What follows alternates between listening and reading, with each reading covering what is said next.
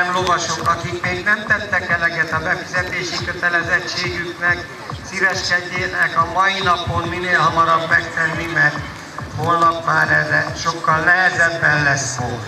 Tehát kéri a rendezőség, hogy a mai nap, ami lehetséges a lovasok fizessék be a tartozásaikat. Köszönjük szépen!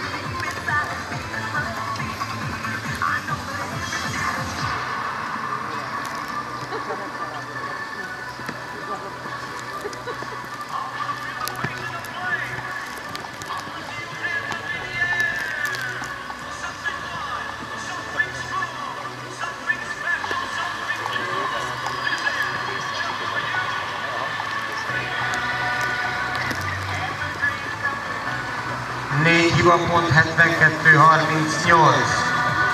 Borongics József, Calliopéval, Szikszai Militári Team lovasa következő induló, Mozár Éva, Benedek.